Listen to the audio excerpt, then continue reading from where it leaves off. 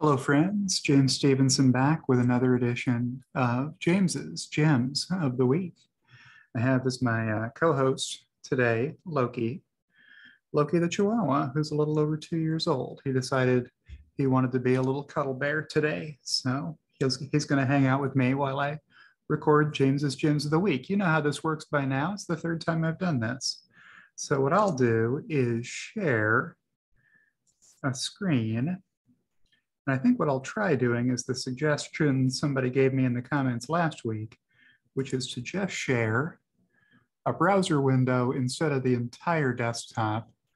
And I have zoomed way in here. So this may be a lot tighter, uh, which hopefully resolves a lot of the uh, questions and comments I've gotten in previous weeks over, hey, this is hard to read on my phone. So hopefully this is really easy to read on, on your phone now.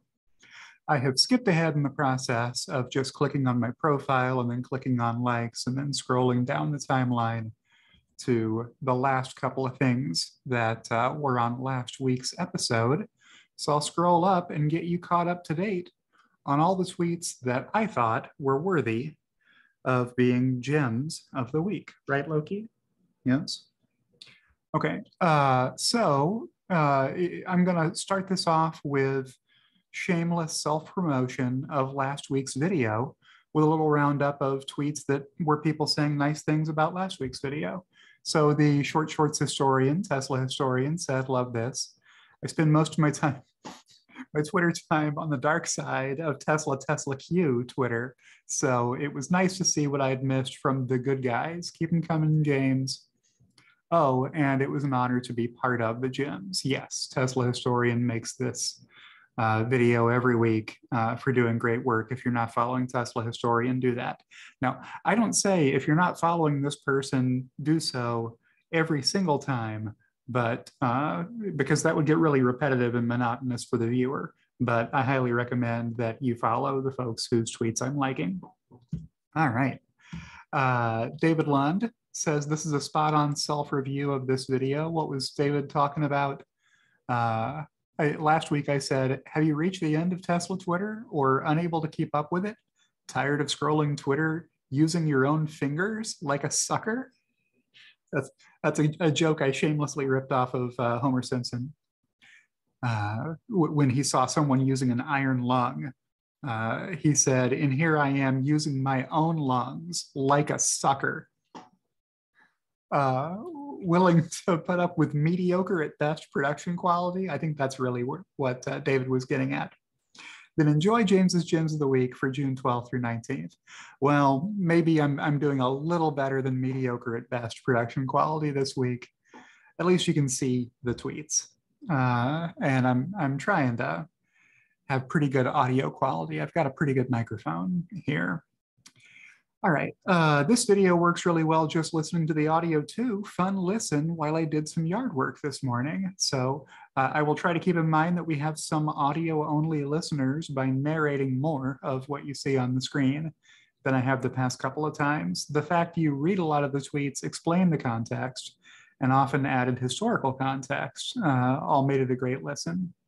Well, uh, the all the knowledge in my head from years of fighting FUD on Twitter has to be good for something, and I think it's good for making these videos with uh, ad-libbed narration. Uh, yours truly. You had me at mediocre at best. Honesty is in short supply nowadays. Uh, hey, the, these are not the best quality videos on YouTube, but uh, I'm glad people are liking them. Uh, Jonna Kreider says, This is fire, James. So I like that tweet. Thought that was great. Follow Jonna if you're not. Here is uh, Tesla owners of San Joaquin Valley. It was awesome. I actually missed a few of Elon's tweets, so I like the extra information accompanied with it. I like that tweet. Uh, forward cap says if Tesla, uh, so I guess we're leaving the self adulation uh, stage of this week's video. The rest will be uh, well, I won't promise that there won't be more, but there will be less as we keep going. If Tesla can't repatriate China profits, how did they build Austin and Berlin and pay down 8 billion in debt over the past year? Uh, I thought that was an excellent point Forward Cap made. I'll follow this tr- through and show you uh, Stephen Spencer's tweet Apparently, Jim Chanos is still tweeting about Tesla after being wrong for half a decade. Whether you're an investor or a trader, learn how to take a loss and move on. Otherwise, you're just another schmuck who blows up in markets. So here's the tweet from uh, Wall Street cynic Diogenes, uh, which is Jim Chanos's Twitter account. Uh, famous, longtime Tesla short seller. Uh, more importantly, what are gross margins at the current Shanghai factory versus Fremont? And can Tesla freely repatriate profits earned in China to the USA? So there's this conspiracy theory uh, in the Tesla Q community that even if the Shanghai factory is profitable, it doesn't matter because Tesla can't repatriate the money. Well, uh, where do I start with the wrong-headed notions in this uh, religious belief? So uh, one of them is that you don't have to repatriate all the money you make in other countries because Tesla has expenses in China denominated in yuan. So they can spend the money they make in China in China and then not have to worry about repatriating. Does that make sense? So the profits are what's left over after you take all of your sales and subtract all of your costs and expenses, right? The costs and expenses are more than the amount of the profits are, right? So a lot of those expenses are buying stuff from China. Either that stuff gets used to make cars and other products in China, or it gets exported, uh, uh, shipped to other locations around the world where Tesla is using, let's say, batteries made by LG or CATL. Um, so if the money is being spent in country, you don't even have to worry about um, currency exchange uh, problems with uh, foreign, foreign currency exchange impacts, right? Uh, another one is this is based on the Shanghai agreement that they would have to pay China a minimum amount of money every year. And if they didn't, China had the right to seize assets or lock accounts or whatever. Well, whether your contract specifies those terms or not, if you're operating a business within the borders of the sovereign nation of China, they have the right to do that. And if you don't believe that, um, ask some folks who invested money uh, in Venezuela whether it's possible for uh, a sovereign nation to socialize uh, businesses. It's possible, right?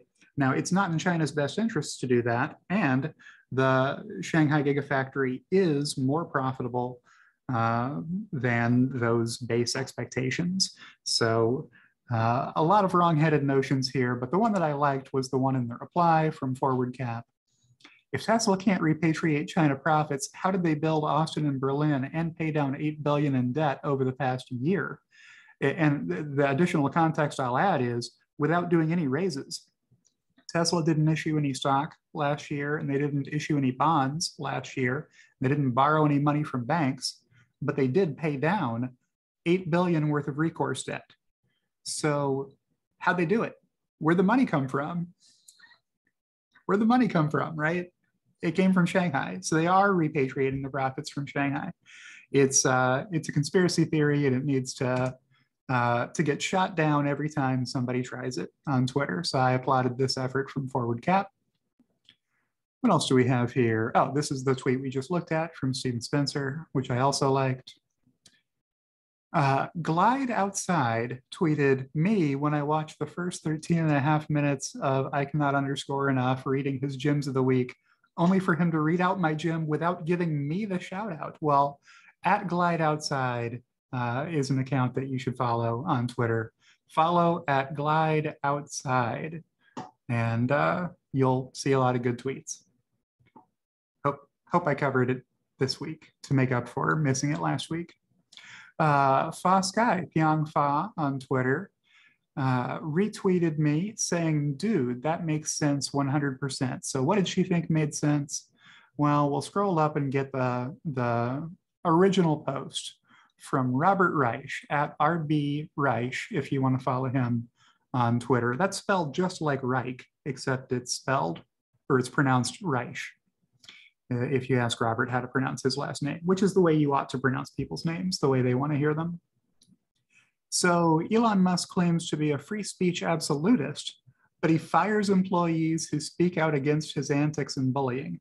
So this is about that uh, petition that SpaceX employees sent around, you know, during work hours at SpaceX when they were supposed to be working uh, with a petition complaining about how Elon Musk handles himself in his free time. Uh, Elon Musk, the guy who owns, you know, more than half of SpaceX, so controls the entire company and is their employer. And in the reply here, I said, freedom of speech does not mean freedom from the obvious foreseeable consequences of saying things most people disagree with, or in this case, saying things your controlling employer uh, will disagree with.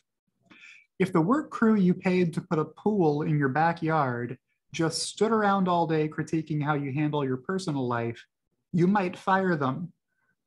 I would fire them if the crew that I paid to work was instead um, signing petitions saying that they don't like the way I tweet or, uh, or, or, the political views that I uh, express. That's, that's not what they're getting paid for. And they ought to know that that's not what you get paid for uh, while you're at work. So uh, that was my point there. And Foskai Pyong Fa said that made sense to her. John Peacock uh, sent out a tweet that I liked. To be honest, I also skimmed the video. It is chill and slides smoothly from entertainment to informative. I especially love the Lex text that I missed. It makes me wonder if I'm egotistical about my own existence. So John Peacock there is also addressing my, uh, my video. And um, the, the Lex tweet was whether he is a bot or whether the impersonators of his Twitter account are, are the, uh, the bot, which one is really the AI. Uh, impossible to know whether you are the AI or your impersonators are.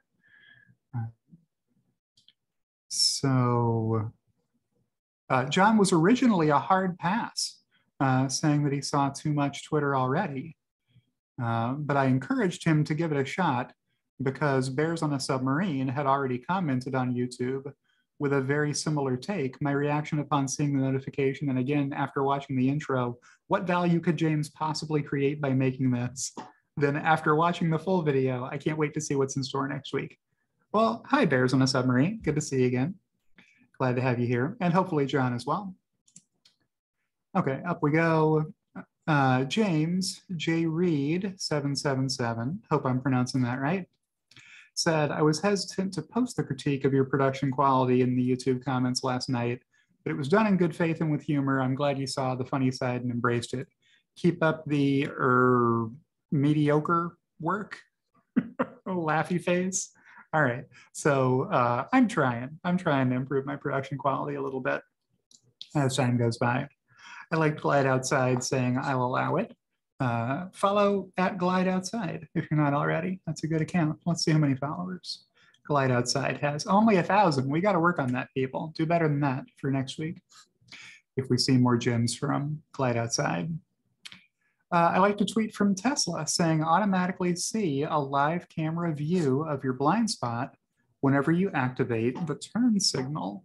So they're retweeting Danielle X at Love Me Some Musk tweeting the Tesla feature where using your blinker shows the camera on the side you're turning was so helpful when I was driving during sunset and the sun was hitting my mirror just right so I couldn't see anything. The camera was a much better view. Yeah. So as you can see, with a physical mirror, there's a lot of glare coming off of that. Uh, but with the Tesla rear facing side camera here, Tesla is processing that video feed through filters that are fixing the glare. So you can really see a lot better on your screen than you can see in your own physical rearview mirror. Pretty cool technology from Tesla. You can't get that in anybody else's car I'm aware of. And here's a tweet I liked from Sawyer Merritt. He, uh, he said, Meet Don, a cool local Cape Cod resident I just met. He was walking by and was shocked that the car I was driving, Model Y, had a big frunk. That's a nice car, he said. I showed him around the car and showed him Summon. He was blown away, lol. He loved the minimalistic interior. So glad to, glad to hear about that uh, experience Sawyer had meeting Don and to get a chance to meet him virtually. I like to tweet here from Elon Musk. It said, AI gets better every day. And the cartoon here, I'll try to click on so you can see all of it at once, is uh, a guy sitting at a table. Uh, he's marked as the human race. And he's been writing out pieces of paper constantly that have all sorts of different things written on them, uh, many of which are already discarded on the floor that say things like only a human musician can compose in the style of Bach, only humans can recognize faces, only humans can play ping pong, only humans can improvise jazz, only humans can pick stocks. Uh, all of those have been crossed out because all of those uh, beliefs have been disproven already. The ones he still has tacked to his wall are things like only a human can play baseball. So far, that's true. Uh, only people have common sense. Uh, that one is is standing for now. Uh, only a human can review a movie. Uh, that's that's probably a decent one to, to have still on the wall. Really some gray areas here. The one right behind him is the important one. Only humans can drive cars. Well, um, that one will not stay on the wall forever. It's going to come down. Um, there are some uh, companies that are already allowing driverless ride hailing services using um, uh, a, a LiDAR based approach with uh, high definition, exhaustively mapped city streets. And those are limited to a uh, geofenced area for now. Um, that's not a solution that scales easily to the to cover the entire world, right? Uh, the solution Tesla is working on is a general solution that can work without knowing what environment it's about to drive through just by looking around the same way people do. Uh, that's the approach that is likely, in my opinion, to win in the long run. All right, uh, Whole Mars catalog at Whole blog tweeted a 10% reduction in salaried headcount is only around a 3% reduction in total headcount. Now, how can that math be true? There's a 10% here and there's a 3% here, and those are different numbers. So what in the heck is going on? Well, uh, Elon got this question on an interview he did last week and explained what's going on, which is there's a difference between total headcount and salaried headcount. And the difference is less than half the people who work at Tesla are salaried. And if you do a little math on this, the rough number you will arrive at is that it's 30% of Tesla's workforce is salaried, with 70% being hourly workers in, you know, in factories doing uh, production uh, labor type jobs. So if you're reducing 10% of a salaried headcount that only composes 30% of your total workforce to begin with, that's only a 3% reduction in total headcount because 10% of 30% is 3%. I hope that made sense. Uh, Elon Musk says probably only a few months. Well, what does that mean? So this was in response to that tweet, Alex A. Voigt on Twitter said, and Giga Berlin adds about 600 employees every month on top of Giga Austin and China expansion how long will there be a net headcount reduction at all? And Elon says probably only a few months. So this helps answer that other question. How on earth can there be more Tesla employees at the end of 2022 than there were at the beginning of 2022 if 10% are getting cut? Uh, and the answer is that it was never 10% of the total to begin with, it was 3% of the total to begin with. And because hourly people are being hired throughout the year and if you go to Tesla's job board, they are still hiring for salaried uh, roles. in, in the organization. So both salaried and hourly hiring will continue uh, through the end of the year, and those will more than offset the layoffs. All right, uh, Gary Black sent out a tweet uh, at Gary Black zero zero. Uh, no would have to disclose board has approved. What's Gary talking about? So uh, I tweeted that Tesla is always open after Tesla closed at 7 11 11 the same day. Uh, Elon liked a tweet uh, with 7 11 uh, signage bearing the numbers 7.11 or $7.11 as the price for both regular unleaded gasoline and diesel with the caption, the prophecy has been fulfilled. Well, uh, Ryan Lundquist at Ginger ZI Law, I'm hoping I'm doing justice to that handle, said, could Tesla have started buybacks without some kind of disclosure? Do they need to make disclosures before that starts? Or could Elon Musk and Zach Kirkhorn have just pushed the buy button till it hit $711? Uh, and Gary said no, would have to disclose board has approved.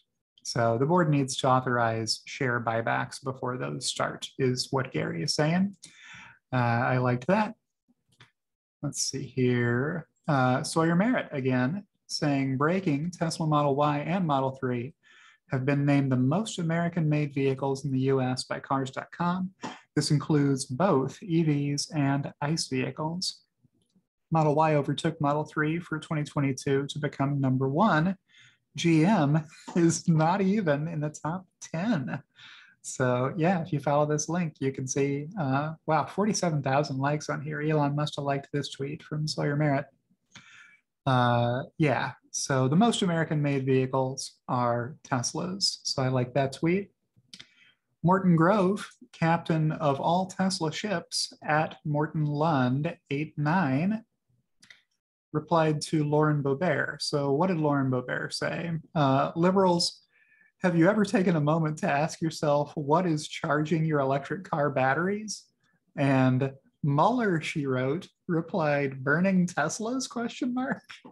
Well, that's not a very good guess. I'm not aware of any uh, power production that comes from burning Teslas. Uh, the, the insinuation from Lauren Boebert up here I hope I'm pronouncing her name correctly. I, am just going to keep, every time I pronounce anybody's name, I'll just apologize for how I pronounced it. Uh, I think what I'm, I'm, gathering from context here, uh, she's challenging liberals uh, by, um, uh, by, by proposing that maybe it's fossil fuels that are uh, driving the electricity to their cars' batteries.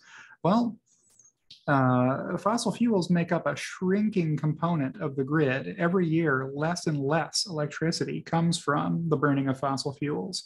So uh, if you buy a fossil fuel burning car, it can never get any cleaner for the environment. But if you buy an electric vehicle, it will continue getting cleaner as the grid gets cleaner, if the grid is where you're drawing your power from. But if you would like none of your uh, charging for your electric car battery to come from the grid, you can install solar panels on your roof and have your own power plant uh, as a part of your house that you're not really using for anything else, the, the top of your roof.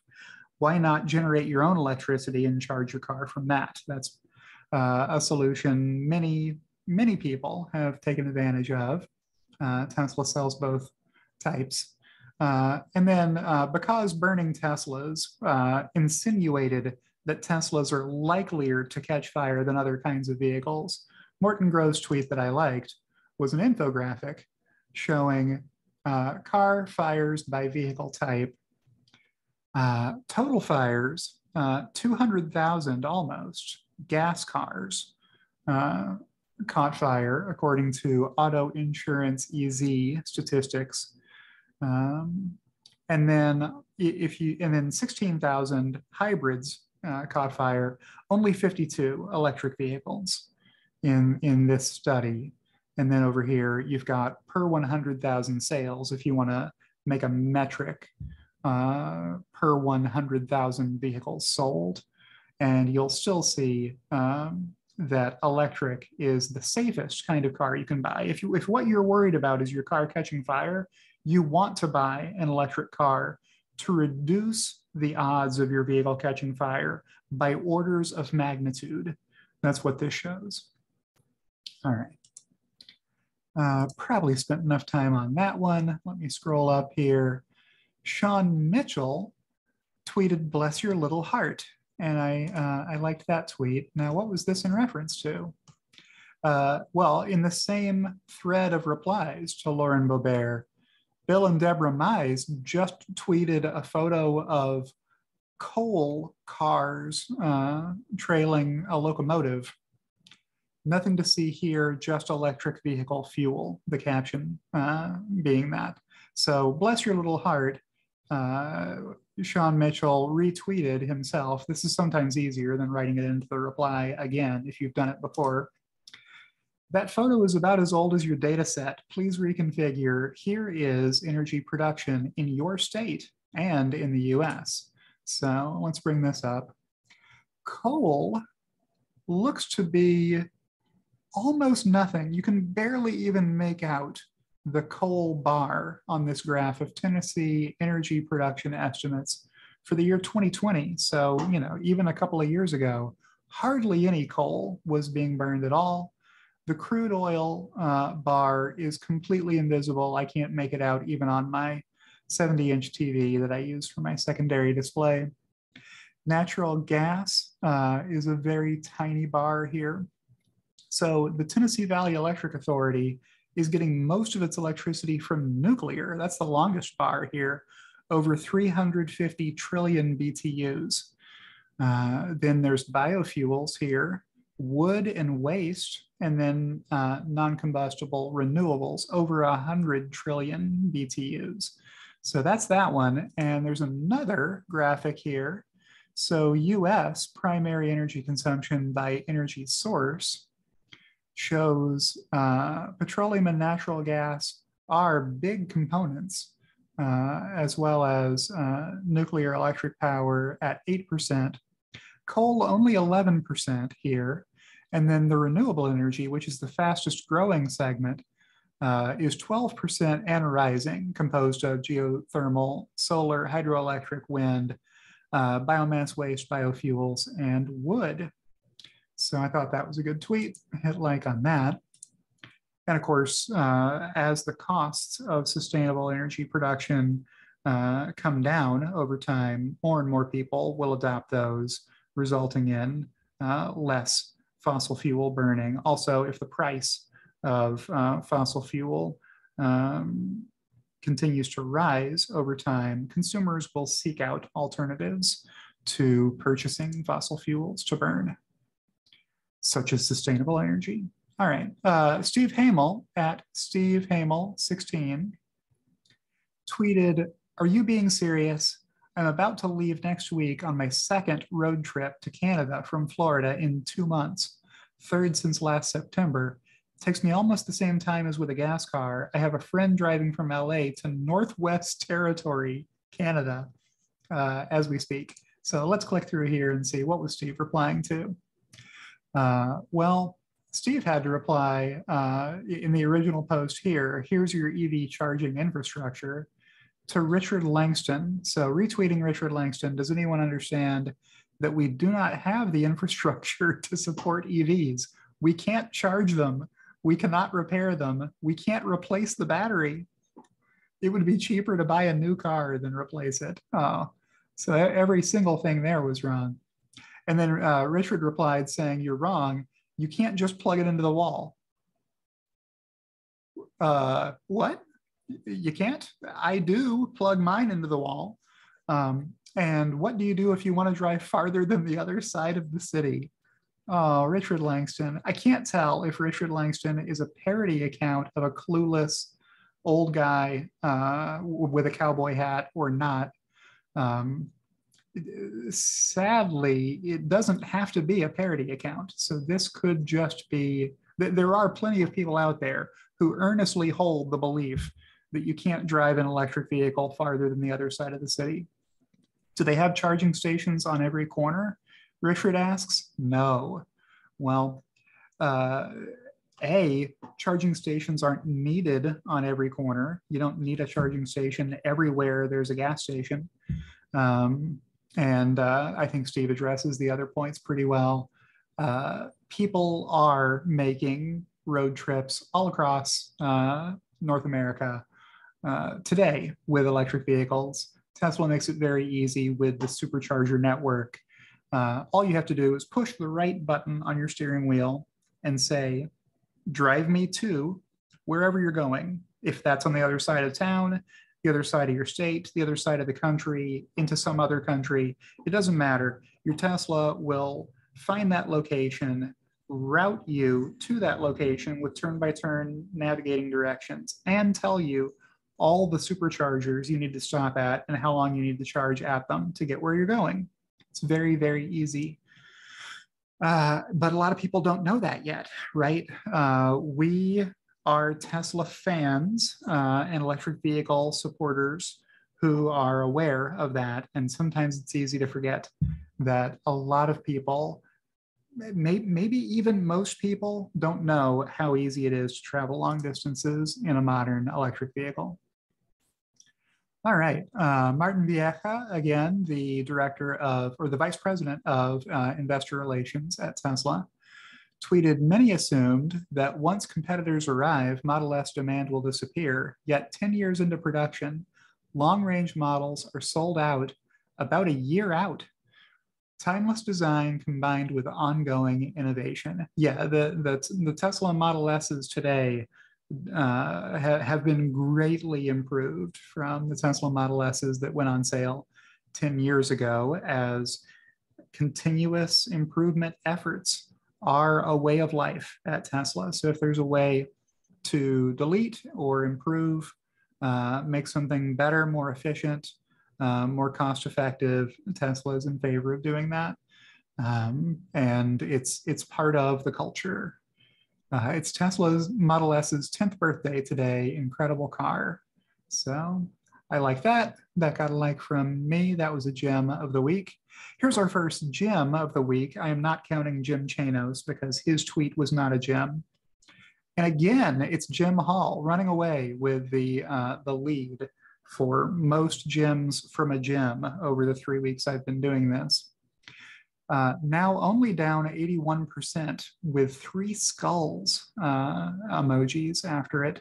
So there's a, uh, a visual here of the Nikola Corporation stock chart uh, going back to August a few years ago. Uh, I think it was September of that year, August or September, where Nikola hit their highs. And it has been a bumpy ride down ever since uh, from about, I want to I want to say 60 bucks down to about five and a half bucks. So uh, people who bought in August or September a few years back, not very happy with the investment returns they have on Nikola stock. So let's follow this through and see what Jim was replying to. Well, uh, again, it, it, started as a Sawyer Merritt tweet. News: U.S. indicts Trevor Milton for an, for new wire fraud.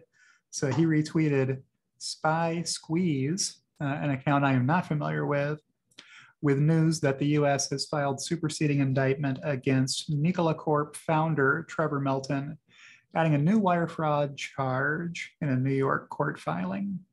So I replied, quick reminder, Tesla charts among the most influential proponents of the Tesla Q movement, believed that Trevor Milton was being honest and forthright about Nikola's prospects, but that Elon Musk was lying about Tesla. So I, uh, I CC'd a few people I thought would want to see that tweet, among them Jim Hall, uh, Barkim Smeagol, Tesla historian, and Steve Hamel 16, who uh, we just mentioned a few of. Uh, and I was retweeting Jim Hall's tweet here. So uh, yeah, uh, Keith Watson, not only did he short Tesla near the low of $177 last June, he also, that, that's pre-split, by the way. So Uh, mark that down to like $36 uh, in current days. Um, stock prices.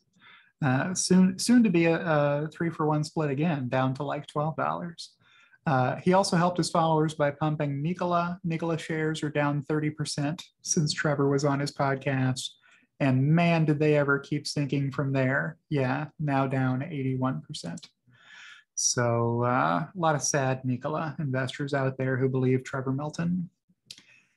Stephen Mark Ryan tweeted, TC is the very definition of the Dunning-Kruger effect, which you can Google.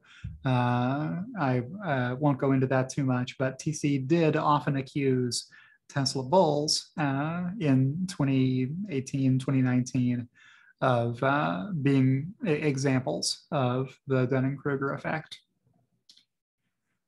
BR Cooper at underscore BR Cooper tweeted, What exactly is crooked about his compensation package? He doesn't receive anything unless he produces returns for shareholders that were widely considered to be absurd just a few years ago.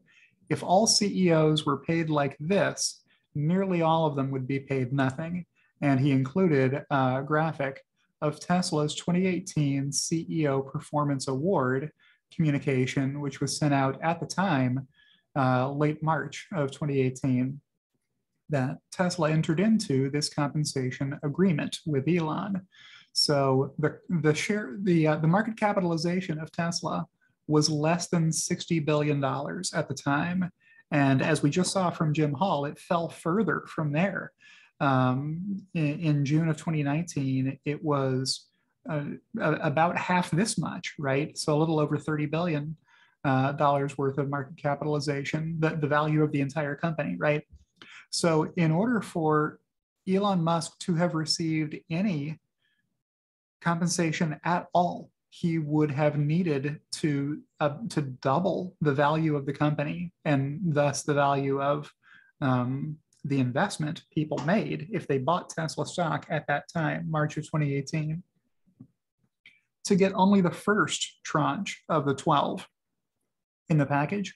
In order to earn all 12, Elon would have to multiply the company's value uh, in terms of market capitalization by more than an order of magnitude to over $650 billion, uh, which uh, you can still find news clips of from the financial cable networks when this news broke saying, What is this compensation package? There's no way that a company that's worth less than a $100 billion could grow to these absurd levels when they have all the problems that Tesla had at the time. Remember, this was the constant stream of FUD. All the articles were, you know, near, nearly all the coverage of Tesla in, um, in, in news media was that um, they were not going to make it, that competition was coming, that uh, they weren't going to be able to launch um, the or, or ramp their uh, vehicles, that the demand wasn't there, that it was going to fall off a cliff, that the EV credits were the only reason that people bought Teslas. Uh, on and on and on and on, right? Um, way, way more uh, arguments against Tesla than I can recall were being made at the time. So uh, in addition to growing the market capitalization, just pumping up the stock price alone w- would not have any value to Elon because these tranches could not be unlocked unless Tesla also grew revenue and adjusted EBITDA by huge multiples. I remember Tesla had lost money uh, at all points in time prior to this, with you know a couple of quarters worth of exceptions over the company's entire history. So to see even the one and a half billion of adjusted EBITDA seemed like a tall order. Uh, 14 billion uh, seemed completely unachievable, and Tesla is there already. This was a 10 year uh, compensation plan that uh, he, he had until March of 2028 to achieve all of these goals and has done so already. And it's it's not even the end of 2022 yet, right? So if every company would uh, compensate uh, their CEO uh, the same way Tesla uh, has been compensating Elon Musk, there would be a lot less uh, CEOs uh, making this kind of money because these goals are outrageously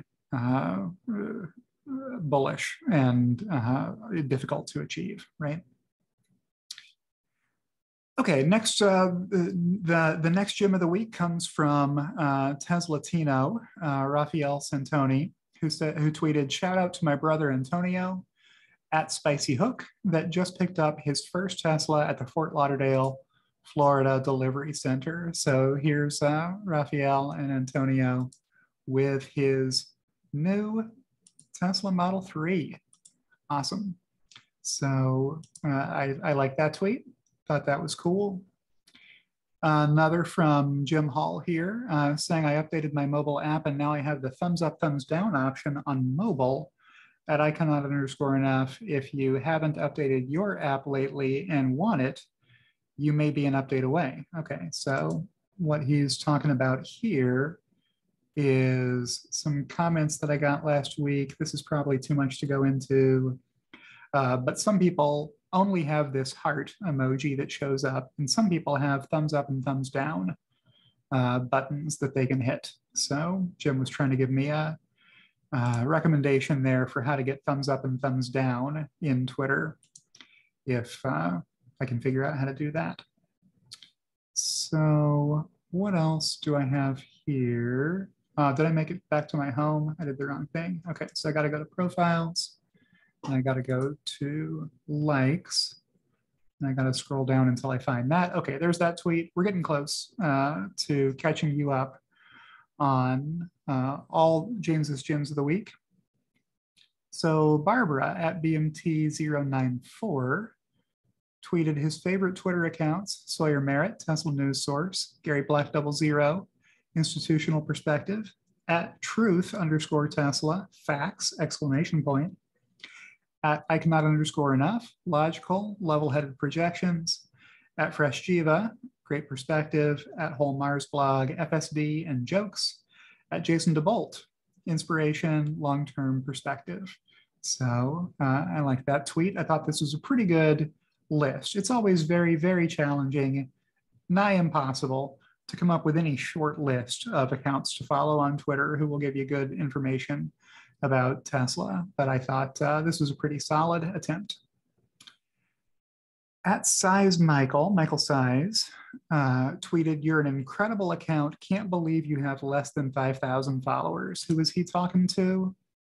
He was talking to Nafnlaus, uh, which I'm sure I'm mispronouncing because uh, that's the handle at ENN underscore Nafnlaus, which has a duck uh, profile. So my, my understanding is that this is the Icelandic word for anonymous and that there is some duck related pun, like a sound alike word maybe in Icelandic for duck. Uh, so you see some Icelandic text here under the profile for this account. Uh, it's an anonymous account from someone who is remarkably informed on a wide range of topics that relate to uh, sustainable energy and many, uh, many other fields. So uh, I'm not the only person who has been impressed by, um, by the number of uh, issues on which Nafnlaus is uh, able to present tons of uh, sourced um, uh, information on. So uh, there was a long thread today uh, that I don't have time to go into. But uh, Simon Evans was the original post here. Yeah, this is way, way too much to talk about. Um, about uh, fossil fuels. So uh, Nafnlaus and I went back and forth in the replies for quite a while this morning, uh, adding discussion topics and points and observations on okay, will the Earth ever run out of fossil fuels? And I think we have agreed that the Earth will never actually run out of fossil fuels, maybe until uh, the sun expands to absorb the Earth and burns the entire Earth. And at that point, all the fossil fuels will be gone, but uh, it will become uh, economically unviable uh, to purchase fossil fuels once the low hanging fruit of extraction of fossil fuels becomes so expensive that fossil fuels cannot compete with solar and batteries, you know, hydro, uh, geothermal, uh, all the other sustainable forms of energy will be less expensive, or enough of them will be less expensive that fossil fuels are consigned to niche uh, applications where people are, are okay paying a lot more uh, to buy fossil fuels than they would to just get a sustainable energy source. All right, and I will back out of this one. And we'll close with Riku Matala uh, from Finland, who tweeted, the higher the electricity prices, the better investment the solar panels became. I just I got them just for fun, but in the current situation, they are on track to actually pay for themselves. What's the current situation? Uh, I think Germany has a lot of oil that uh, comes in from a pipeline from Russia, and there was some geopolitical problem there with supply that caused a lot of energy prices in Northern Europe to rise at the same time because it's a big shared market. Um, so yeah, the, the, the, the important context missing from this, you may uh, notice from the flag of Finland here, is that Riku lives in Finland and Finland does not get uh, lots and lots of sunlight, uh, particularly in the winter. So um, he's on track to actually pay off his solar panels with the electricity he's producing. So that closes this week's James's Gems of the Week. I hope you've enjoyed this video. If you have, click the like button or don't. It's your life. Do what you want.